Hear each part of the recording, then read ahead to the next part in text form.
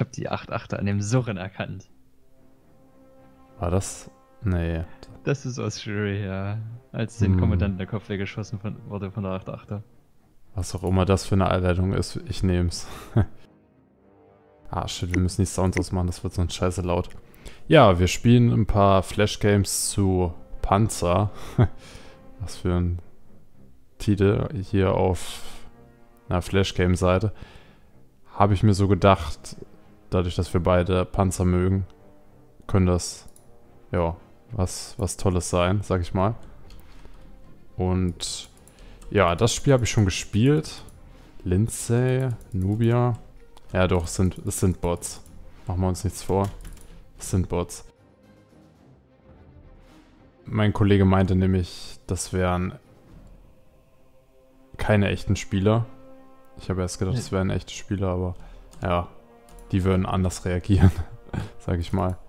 Und hätten Die auch mehr Namen mir Abschüsse. Halt auch zu generisch. Hm. Ja, und zu, zu perfekt grammatikalisch. Würde ich Richtig. sagen. Genau. Äh, ich hatte mich beim letzten Mal bei den 83 Abschüssen bei, bei der Killstreak schon sehr, sehr doll gefreut, dass ich mich super anstelle, super Threads habe, wie ich Gegner besiegen kann, indem ich hier mal rumhüpfe mit. Boah, scheiße, sind die stark geworden. Mit meiner Glascannon, die wir hier spielen, mit einer ziemlich geringen Feuerrate und ziemlich hohen Schaden. Alter, was macht der denn? Ja.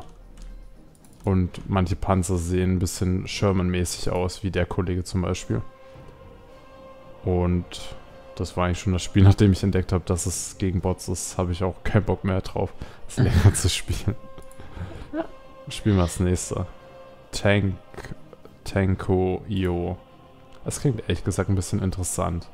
Dadurch, dass es ein IO-Spiel ist. Probieren wir es doch gleich mal aus. Ah, viel zu laut. Was hältst du von dem Spitznamen?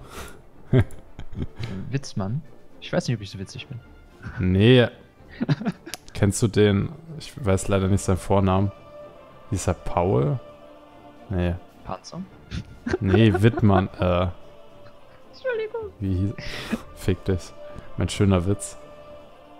Na, es, nein, ich kenne ihn nicht. Wir haben es gerade von Panzer und du hast Paul gesagt, er kann natürlich Paul Panzer. Ich meine, Ah, nee. Aber gut, da haben wir den Witz auch schon untergebracht. Nee, na, den besten Panzerfahrer auf deutscher Seite, Wittmann.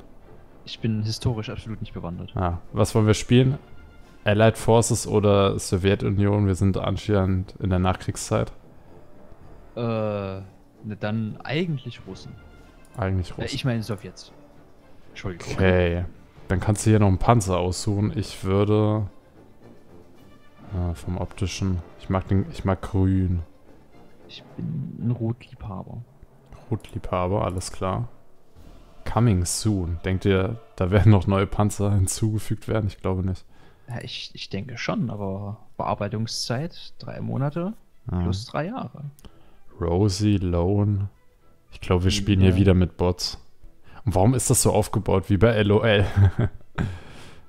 ah. Vielleicht, weil der Grafiker nicht ganz so ideenreich war. Oh mein Gott. Ein bisschen überfordert. WASD oder. Warte mal. Ah, ja, sieht schon mal gut aus.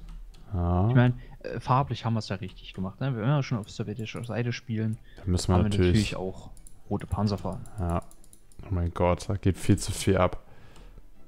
Hier sehen wir, wie weit wir schießen können. Was haben wir denn? Es ist, es ist sogar wie LOL mit, mit dem Feed und wow. Und hier sind die Minions, die Minion-Panzer. Oh mein Gott. Was haben wir hier gefunden? Wie süß. Warte mal, ist, ist das dieser Panzer mit der doppelten Kanone, dieser Flakpanzer in WOT? Äh,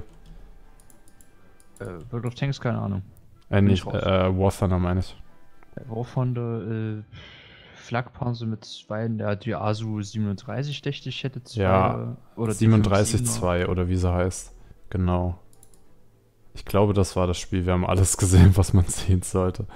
Diese Alter, ist der riesig. größer. Wow. Der wird irgendwie mit jedem Abschluss größer, habe ich das Gefühl. Mhm. Aber das warum? Spiel- Ich meine, Nanotechnologie? Nee. Wenn das Spiel jetzt noch interessanter wäre, ein bisschen einsteigerfreundlich, dann. Aber nee. Ein klassisches Gelegenheitsspiel. Hm. Sehr gelegenheitlich.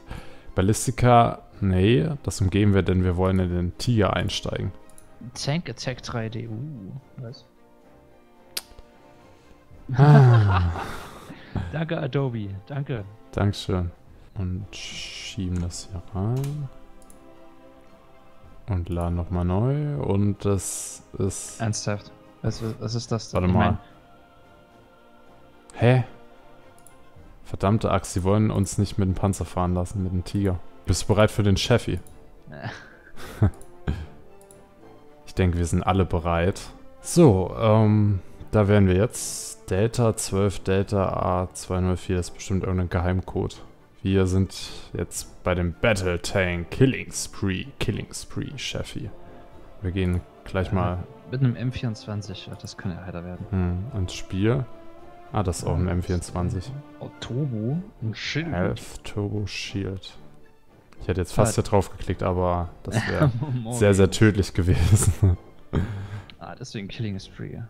Warum müssen wir überhaupt hier so auf einer... Oh mein Gott, wir haben... Unser Turmträgkranz wurde beschädigt. Was? Wann ist das passiert? Ich weiß es nicht. Aber ich hätte gerne den Panzer begutachtet, der da vorbeigefahren ist. Der sah deutsch aus. Oh mein Gott, siehst du Fall. das Lautsprechersymbol? Und wenn man es nicht findet, sieht man aus wie dieser Typ hier. Massiv frustrierend. Ja. Wir heißen. Mark Gott. Weshalb auch immer. Oh mein Gott, was ist das für ein Panzer? Es ist, glaube ich, ein, ein Humvee. so Oh mein heißt. Gott, wir haben eine begrenzte Anzahl an Munition. Oh mein Gott, das ist so ein. Ah, ah, ja. So ein ekliges. Was? Das ist. Das ist ein verficktes Einparkspiel? Ich wollte erst einen Witz machen. Hoffentlich ist das nicht so ein Einparkspiel. Das sieht aus wie so ein Einparkspiel. Wegen der Physik und dem Fahren und. Ah. Okay, wir mussten einfach gerade jemanden abholen. Mal gucken, wie sich entwickelt. Auf jeden Fall, wenn, dann ist das der neue Parkplatz-Simulator. Ah. Wir haben eine begrenzte An Anzahl an Leben und wir müssen wieder nach unten fahren. Ich weiß nicht, wo vorne und woher. Was? Was zum Henker hat er gerade gefeuert? Ich glaube, das war eine Javelin oder was in der Richtung, aber ich glaube auch, das war es mit dem Spiel. Ich habe wirklich keinen Bock auf das Einparken. Auf das werden wir auch keinen Bock haben, denn da muss man auch mal Park my einparken. Wollt ihr mich verarschen? So viel coole Bilder mit Abrams und dann... Naja, ich will es mir eigentlich doch anschauen. Was haben wir hier? Wir haben... Na, kann ich eigentlich gar nicht einordnen. Ja, es ist, scheint wahrscheinlich schon so eine Art Abraham zu sein. Ja. Dadurch, dass irgendwie auch alles amerikanisch ist. Oder Mhm. russisch. America, fuck yeah. Das hier sieht aus wie Panzer sieht aus 1, um ehrlich zu sein. Oh, was ist das? Eine Spitfire? Schön. Warum fahren wir amerikanische Panzer? Und Ja. da steht ein englisches Flugzeug. Gute Frage. Und dann wieder ein amerikanischer Jet. You crashed. Was? Ich bitte euch. Ich bin doch nur an die... Wow. Ich bin doch nur an die hochexplosiven Raketen gefahren. Ja, ich glaube eher, dass es deine Panzerschürzen waren. Also die, die Genau. Gummischürzen, die absolut starr sind und sofort zerbrechen, wenn die irgendwo dagegen anecken. Show High Score. Add to your website. Wollen wir das machen? Wollen wir uns eine Website erstellen? Ja, wir erstellen uns eine Website nur für dieses Spiel. Für die Das geilen. Dünenpanzer. Spiel mal Level diese 1. farbenfrohen Farbgestaltungen. Hey. Also irgendwie hat das was. Warte mal. Mal ehrlich, wer kommt denn auf die Idee, die, die Höhenverstellung Mhm. ähm, von dem Panzer auf linken und rechten Pfeil zu legen, anstatt Ich auf oberen und unteren Pfeil?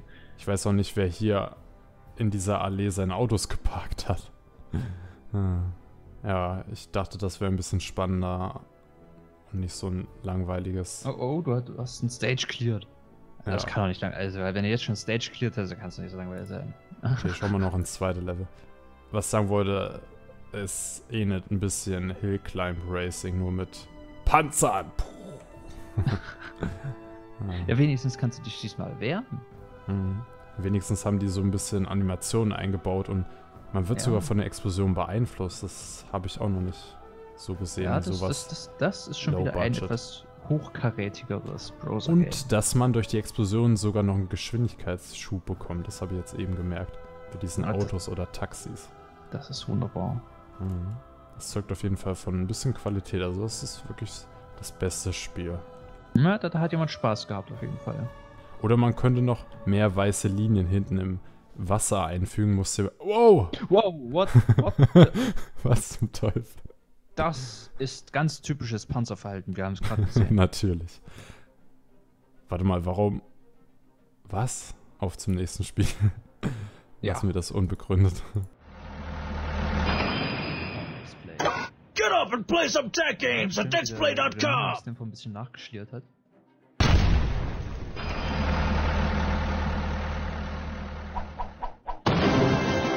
Also erstmal Hinweis, das war geiler Surround Sound, der kam erst von rechts und dann ist er von links abgehauen und das ist ein arschgeiler Panzer 4J, würde ich sagen. Was macht dieses Ja, Nachtsichtgerät? äh, eine Ausführung 4 mit Entfernungsmesser.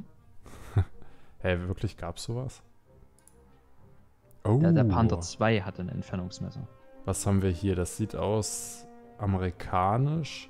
Ja, das sieht nach einem Pershing? M26 aus, fast. Mhm. Panzer 4.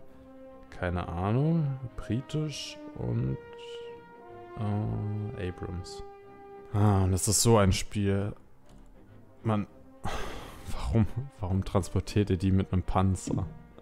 Das macht überhaupt keinen Sinn. Ihr habt all, oh, all mögliche Halbketten und dann transportiert ihr den Scheiß mit einem Panzer.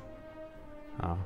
Ja, interessanterweise wurden damals, ähm, äh, wo der Oh. Unfall mit Tschernobyl war, Hm. wurden noch Su-152 eingesetzt, um Ach, halt äh, Fracht zu oder halt äh, Trümmer zu, wegzuschieben und hast du nicht gesehen. Alter, das ist der perfekte Moment, wenn sich der Kreis schließt bei mir, weil ich hatte heute wieder mit Tschernobyl was zu tun. Oh. Und das ist die perfekte Verbindung, würde ich so sagen. Ja, und wir spielen das erste Level noch durch. Es ist nicht wirklich. Was? Play the game. Na, Tank in Oh. Action mit der Aufführung, das hat so ein bisschen Casino-Flair. Oh Gott, das ist viel zu grell, vor allem hier. Mm. Natürlich. Mm, oh, oh, ich muss- yeah.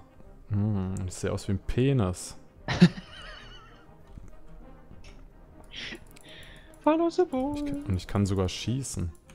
Natürlich. Und das sind die besten kannst sogar Backflips machen. Alter, diese Gravitation. Vor allem das Lustige ist, alle Objekte sind, haben keinen Schatten, sehen scheiße aus, außer diese Bäume hier hinten. Die haben nochmal so einen kleinen Schatten. wa, wa, wa, Das wurde Wert was- aufs Detail was gelegt. ist das da unten? Ich würde sagen, das stellt eine Art. Busch dar. Ach so, das ist der Vordergrund. Ich dachte, das wäre der Hintergrund irgendwie. Nee, das sollte, glaube ich, Vordergrund sein. Warte Zumindest nehme ich das an. Denkst du, der nächste Wald wird wieder drei Bäume haben? Ich Ja. würde mich auf diese Wette einlassen. Ah, Oh nein, es sind fünf. Wette verloren. Verdammt! Es waren fünf. Ja, wenigstens sind es hier drei Häuser. Oh Gott. Oh Gott. Ja, ne, äh, das natürlichste Hindernis für Panzer. Windmühlen. Oh, Domino Day, Domino Day. Alter. Domino Der Day. Trickster. Eine Brücke gebaut.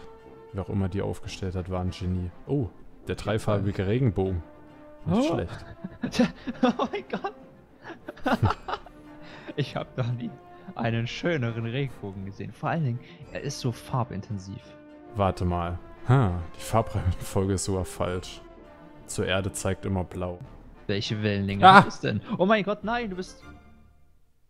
Okay, du bist doch Explodiert.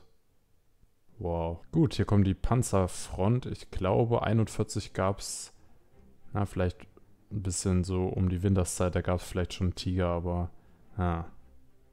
Ha. Oh mein Gott, ich glaube, wir haben es hier mit einem Taktikspiel zu tun. Meinst du, wir haben hier tatsächlich mal ein Spiel, was ein bisschen mehr erfordert? Was zum... Äh, warum? Das ist das Tutorial. Es wird nur erstmal gerade. Du wirst in eine Ja, Situation gebracht. aber die... Die... Das ist hochgradig spannend. Erinnert mich auch ein bisschen am Fire Emblem. Ich weiß nicht, ob du es mal gespielt hast. Oh mein Gott. Das ist wirklich... Ah. Warte mal. Das ist eine Kooperation mit dem anderen Parkspiel, denn da gab es auch diesen Panzer 4, äh, Panzer 1 von den Deutschen. Aha, verstehe. Ja. Und das Level ist ziemlich langweilig. Gut, das waren eine Menge Panzer-Flash-Games auf der erstbesten Seite, die ich finden konnte. Es war semi-gut. Ich hätte mir ehrlich gesagt mehr Spiele gewünscht, die so ein bisschen spezieller reingehen mit, wo wir mehr über die eigentlichen Panzer reden, anstatt das, was wir sehen oder, oder was wir nicht sehen. ja, war trotzdem schön. Und ja, mein Gast hat noch abschließende Worte für euch. Ich hab's total verkackt. Das ist meine Schuld. Ciao.